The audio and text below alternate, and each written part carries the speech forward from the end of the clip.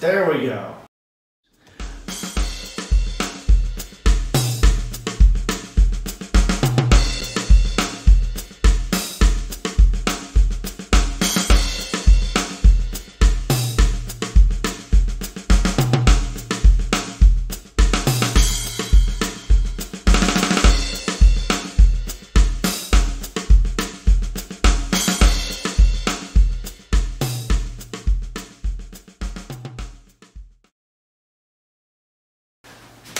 Welcome to Random Randallness, everyone. This is uh, episode six, something. I don't know. I have no idea what order this one's going to be posted in, so we'll figure it out as we go along.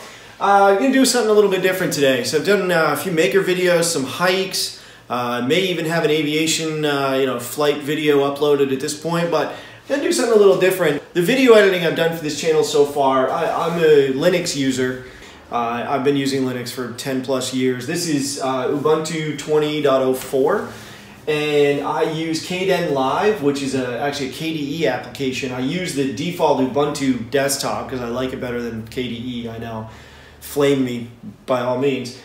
Uh, but I like Kdenlive as a video editor. It actually has a lot of really good features and it, and it can do some of the higher end stuff that I like to do. One of the things that I've really been missing is the ability to do GPU encoding. So for those of you that stumble across this video and didn't actually go searching for it, I'll kind of explain what that is. You have um, a couple of processors in this. This is a laptop, Dell Latitude E7470. Uh, doesn't have a lot of horsepower to it. Uh, but you essentially have two processing units in it. You have the CPU, but you also have a GPU that's that's an onboard uh, chip that's used for graphics processing. It's not meant to run games or everything, but it does have hardware encoders and decoders. And the reason that's important is software decoding and encoding using your CPU will essentially render your system unusable during the time that you're doing uh, the encoding or the decoding it takes a lot more processing power on the CPU than it would if you offloaded that to the GPU. And I didn't want situations where I was waiting on Kdenlive to do something like proxy videos or do the rendering where I essentially couldn't be working on other things at the same time. Spent the better part of my Sunday morning and good chunk of my Sunday afternoon figuring out how specifically to configure Kdenlive to do proxy videos and rendering using the Intel GPU that is embedded into this laptop. Um, I imagine there's quite a few out there, quite a few of you out there that don't have an NVIDIA or an AMD graphics card and you're using just the embedded one uh, or you're doing it on a different system or for whatever reason you'd like to take advantage of the GPU processing. Really does make a difference. I'm gonna do some screen capture. We're gonna basically talk through how to configure and actually how to compile uh, Kdenlive uh, on Ubuntu. This is Kdenlive uh, 20.04.1 on Ubuntu long-term support 20.04 using an Intel GPU. Going to talk you through all the configuration to set up everything in order to be able to use the Intel GPU for creating your proxy videos, doing your graphics processing, doing your playback, and doing your rendering. Uh, we'll get this video rolling and uh, show you how to configure all of this and hopefully this is helpful to somebody in the future. So, all right, let's get to it. Uh, a couple things to, just to get set up with here. This is uh, Ubuntu 20.04 uh, with all of the latest patches. I am running a custom compiled version of Kdenlive 20.04.1. Um, and the reason I'm running a custom compiled version is that uh, there are libraries, newer versions of libraries than the packaged one, and the, the app image that you can get from uh, Kdenlive uh, doesn't include GPU support for Intel. So that was not usable for this particular uh, setup that I was trying to do.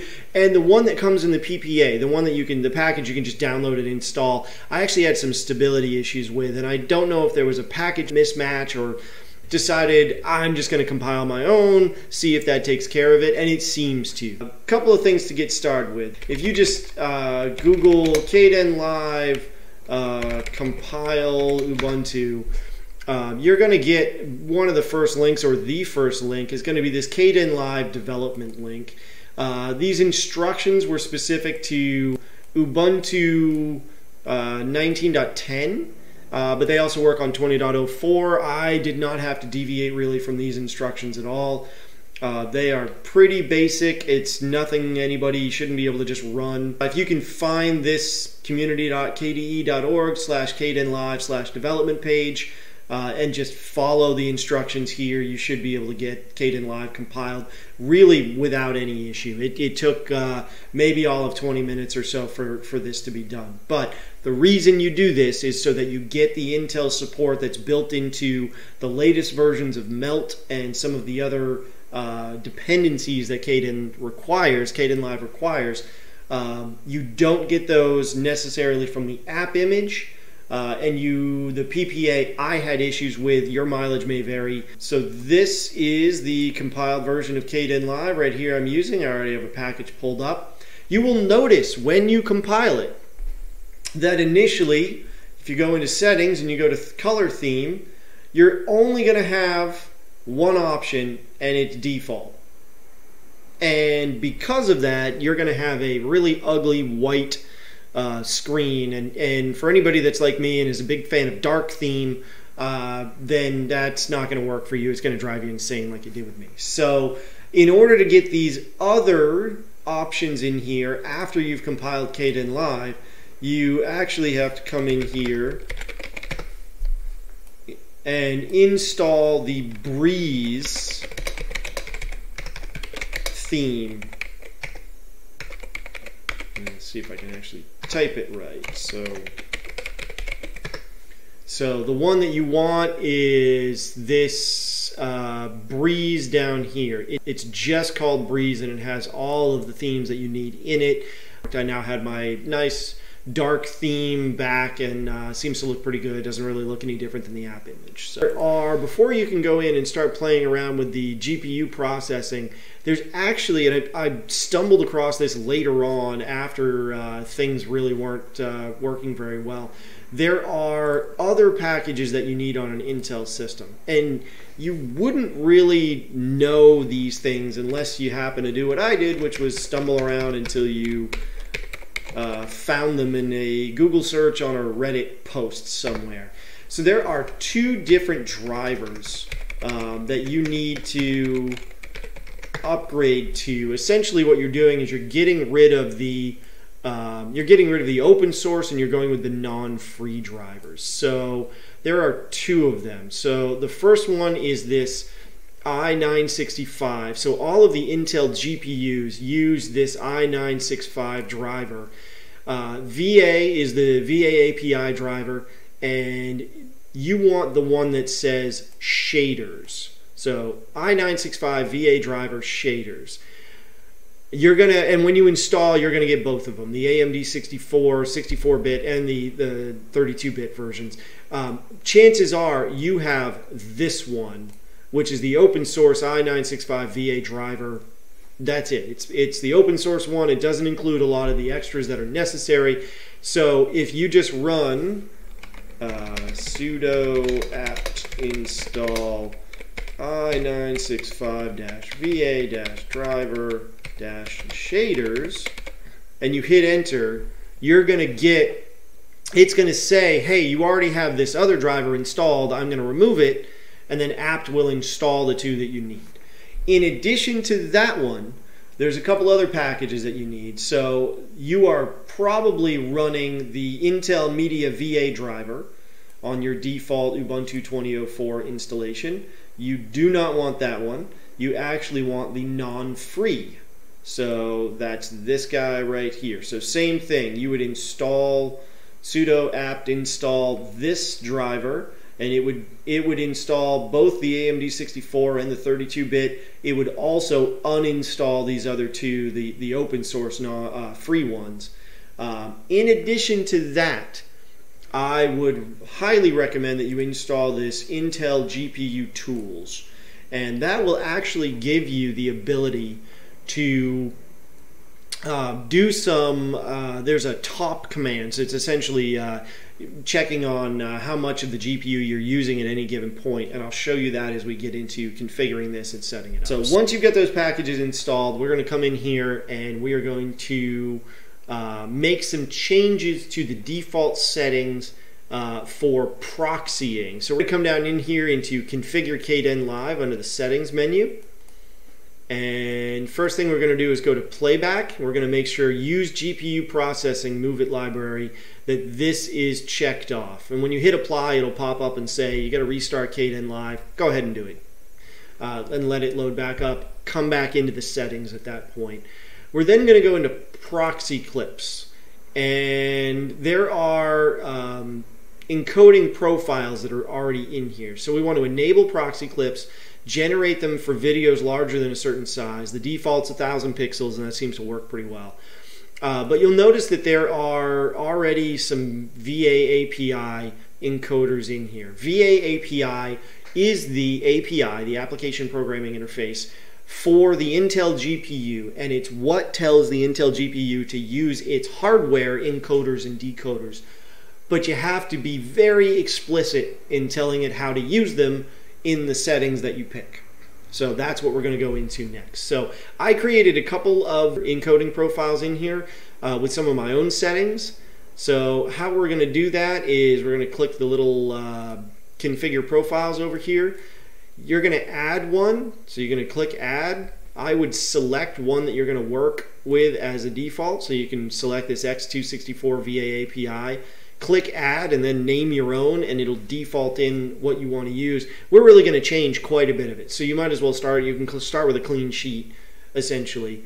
Um, I've created two in here, a hardware decode one and a non-hardware decode one. Still working around with the non-hardware decode to see if I can get that one working properly. So we're going to focus right now on the hardware decode. The difference is, the reason you need two profiles is that the Intel GPU has the ability to decode video that you're using for your projects. So it has the ability to hardware decode that video and then re-encode it using hardware as well. The problem is not all video formats are supported by the Intel GPU. So uh, common ones, X264, uh, iPhone uh, that's using um, the what HPE high performance encoder, the H265 or X265 the uh, so iPhone videos. I'll show you those. They actually work with this hardware decode. Really obscure video formats probably won't. Uh, so you might want to have a, a non-hardware decode uh, setting, but for right now, we'll just we're going to focus on the hardware decode one and show you what those settings look like. So.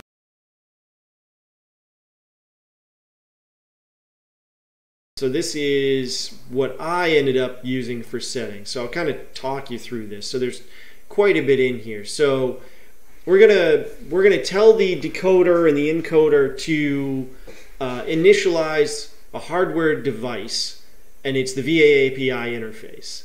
We're then going to tell it we want to use hardware acceleration and we want to use the VA API interface. We're then going to tell it when you use hardware acceleration, use a particular output format and we want that format to be the VA API format. Probably sensing a theme here. Uh, we're also going to tell it to use a particular VA API device. In this case, we're going to tell it the dev dri render D128. This is standard. Everybody that's got an Intel GPU, it should be that device. That's what the kernel uh, device is for an Intel GPU. Uh, the dash I needs to be standalone. Uh, that is the input file that's going to be proxied. Uh, we just leave the dash I in there. You don't need to put anything after it. Dash VF, video format. We're going to add quite a bit. All of this right here is part of the video format. And I'll sort of explain what all of these things do. So HW download is actually needed because it takes the decoded video that's stored in the GPU memory downloads it into regular uh, into regular memory for your CPU, and that is necessary to apply some of these software filters that are part of this stream. So even though 90% of what you're doing is actually being done in the hardware decoder and encoder, there is still some CPU stuff, and so you have to get that data out of the GPU memory and into the CPU memory in order to do some of that software stuff. And that's what the HW download. It says, hey, take it out of hardware, throw it into regular memory. I'm going to do some stuff. You want the format to be NV12. Mm, I couldn't tell you what NV12 is. That's just the format you want it to be. Uh, you're then going to put a pipe symbol, and that says, okay, this is, we've done sort of the decode side of video format. We're not going to do the encode side. And we're going to apply uh, some VA API. Oops, let's, let's not do that. We're going to apply VA API. I, I, this is a format, I guess. Couldn't really tell you beyond that what it does. We're going to tell it to hardware upload, which essentially says, take that decoded data that we just downloaded into the CPU memory and applied some base filters to, now take it and put it back in GPU memory because we're going to have the GPU then encode. So you need the download and then you need the upload. At that point, we're also going to apply an, a VA API scaling factor, and this is what I like to use for my uh, for my videos. These are these are proxy videos again. Is 640 by 360. So these are uh, essentially will take a 1080p video and break it down into something uh, about a quarter of the size and about, a, if my math is off here, I believe about an eighth of the storage space because there's an exponential thing when you double when you double the size of a format of a sorry you double the size of a resolution you actually get four times the amount of storage. So Anyway, 640 by 360, uh, 360 seems to work pretty well for me. Um, the BV, this is how, how many video bits. So 5 megs, uh, I believe that's 5 megs a second, but I could be wrong on that. Uh, audio bit rate is 128K, is a little lower than normal, keeps the video size on the proxy smaller. And we're going to tell it to use the H264 VA API encoder. So any everything that you see VA API is hardware. We're using the Intel encoder and decoder in the G, in the GPU. So uh, this is the setting that I have made work. I've tested these with a couple different video types. I'm most commonly in editing off of iPhone video or iPad video. I know a lot of you are probably using, you know, uh, GoPros and all kinds of other stuff. This should work for any format that is hardware decodable. So uh, anything that's MP4 that's already X264 or X265 should work with this proxy setting. So we're going to go ahead and save this. I'm actually going to click cancel just in case I made any changes to it by accident. Uh, but you're going to save that give it a good give it a good name. Uh, this one I know is doing hardware decoding, so it's an X264 VA API encoder that's also doing hardware decode. So, and once we've done that, we've applied it to our settings. We then need to go in and go into our project settings under proxy, and we need to select it here under encoding profile. So this, as you can see, I've selected the one that we just did, X264 VA API hardware decode you hit OK, and that's the one that is now being used. So I've already encoded a couple videos or already proxied a couple of videos. So I want you to see a couple things on this page. So I'm actually gonna we're gonna make this a little smaller here so I can put some other stuff on screen with it. So that's probably pretty good right there. So some of the stuff I want to show you up in the corner here I have a little uh, this is system resources. It's a system resource monitor. This first column here, this is CPU. So right now I'm using uh, 20, 20 or so percent of CPU. So normally what would happen if I came in here and generated proxy videos or did anything else, uh, that CPU would spike 100%. It would sit there, and everything else I tried to do on the system would essentially become unusable until those proxy videos were generated. So I'm going to show you the difference uh, with that. Uh, show you what uh, generating a proxy with Intel with the GPU in use actually does. And we're going to what we're going to do is bring over our uh, terminal window here, and we're going to load up Intel GPU top. And you have to do this with the sudo command because it, it does require root privileges. So there's uh, this is essentially a snapshot of how busy your GPU is. And you can see it does it's doing some rendering. This is everything that's outputting to the screen essentially at this point. Um, this video, this third one down here, this is actually uh, when it does encoding, it's this video line that we're going to look at. So your renderer goes up, but your video also goes up as well. So we're going to just leave this here, and I'm going to come over here. We're going to right-click a video, and we're going to tell it to create a proxy clip for that video. And when we do that, I want you to see what happens. So I'd like you to notice right off the bat, CPU went up a tiny little bit. We're not even, we're maybe at 50% usage right now. Still plenty of responsiveness on the system. I can drag windows around. I can probably, you know, get in and search stuff on the web and open things up and, you know, do whatever else I want to. Let's go launch Facebook and whatever. It's plenty responsive. But while it's generating that proxy, notice the video. This is all Intel GPU being used right here. So the render went up a little bit and the video definitely went up because it's doing the encoding. Uh, I've never seen it get much more above like 30%. Uh, I'm not sure the reason for that, but here's this is a 53 minute uh, 1080p 60 frame per second iPhone video that is generating a proxy, taking up less than half my CPU, using the GPU, not bogging me down, and this proxy normally would have taken probably about five or six minutes. It's going to be done in about a minute. Uh, and that's what I've found with the uh, with the settings uh, using the actual GPU. You're looking at five to six times faster to do tasks that you would normally do. So there we go. We have a 53 minute video that we just proxied. Took us about a minute to proxy us, proxy it. The proxy video is now uh, you know much smaller. It's uh, 640 by 360, and you know should should be a lot easier to work with. Um, the other thing I'd like you to see is I did pull a couple of proxy videos down here and just applied a wipe to them. And I'm, I'm not going to show you the output, uh, but I would like you to uh, just notice that with GPU processing turned on, watch my CPU up here again and watch as this goes through the preview how little CPU it actually uses.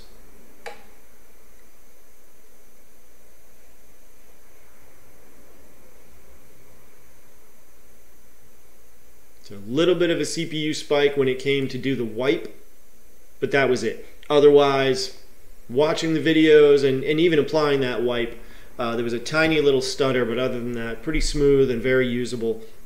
Um, this is typically how I prefer to work, uh, is with proxy videos.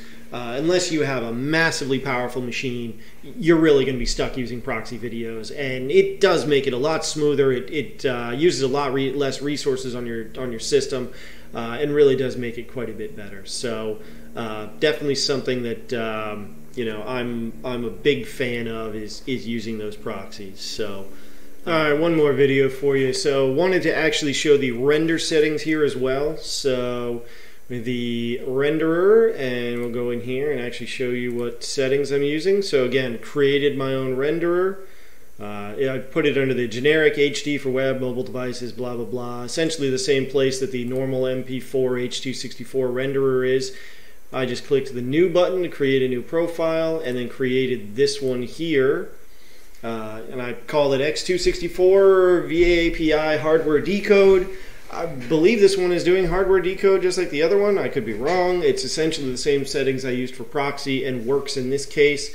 Uh, little different. So in the proxy settings, you don't use equal signs and you use dashes. So in the proxy settings, you do the video format like that. But here in the renderer, you do it like that. And no commas also. You don't put commas between, you just leave spaces and the renderer inter interprets them. It's the same exact thing underneath. It, it, I had never really noticed this before, but uh, proxy setting, ren proxy renderer settings, and renderer settings for your actual video use the melt library underneath, uh, but they just store the parameters slightly different. So is what it is. Um, so anyway, this is what I ended up using, uh, and I'll, I'll, put this in the comments on the video just so you've got it if you want to just copy and paste it. Uh, it's also, uh, you can essentially find these settings. I use this as a guide. Um, uh, this Manjaro forum, and there's some KDE rendering. I can put this uh, link in there as well. Uh, but essentially, this user here had done a lot of the hard work that I kind of used as a base. and essentially, I'm using his he says not hardware decodable, uh, but I believe this might be the other way around. So uh, essentially, used his settings. They seem to work pretty well. Um, so essentially, a cut and paste of this into your own renderer, tweaked it a little bit just to play with some different settings. Ended up basically going back to the the defaults. Uh, but I'll show you this if I now do a render. And so I'm rendering about 40 seconds worth of video. Really, really not a lot, just as a test. Uh, but we'll go ahead and render the file. But I want you to watch over here video, and I want you to watch here CPU. So anybody that's used Kdenlive knows when you click render, typically your CPU just goes to 100% and uh, your system becomes essentially unusable during the duration of the render. Uh, but here, we're going to render the file. We're going to wait for it to start and we're going to notice the video renderer doing a decent amount of the work and that I still have some CPU overhead here. Not a ton, uh, but enough where the system is still usable. I can still click on windows, I can still pull things, I can still open pages, I can do whatever I need to. So enough CPU overhead uh, while my rendering is going on and the rendering uh, really quite a bit quicker. This is you know only about you know 40 50 seconds worth of video, uh, but a I've seen 10 minute videos take 45 minutes to render. With the GPU rendering enabled with VA API and X264, I'm seeing more like seven minutes.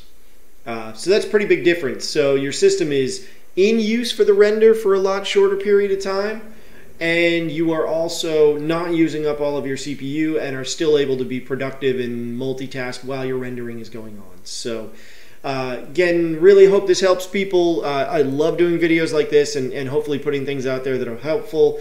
There, who knows? There's probably a million videos out there on this already. I didn't really search YouTube. I just said, you know what? I figured out how to do it. Maybe it'll be helpful to somebody. Maybe they watched a different video and they like the way I explain it better. Who knows? Either way, hope this is helpful to you and uh, appreciate it. Uh, like and subscribe, and uh, we'll see you next time.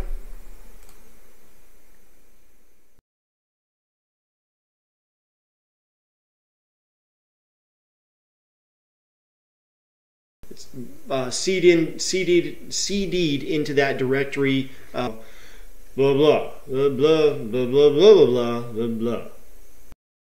Greetings, everyone. Uh, hopefully I'm in shot here. Episode something, I don't know, five, six, twelve. Where I have no idea. Laptop up and running for this. Uh, Kdenlive. Uh, I'm sorry, we're uh, specific to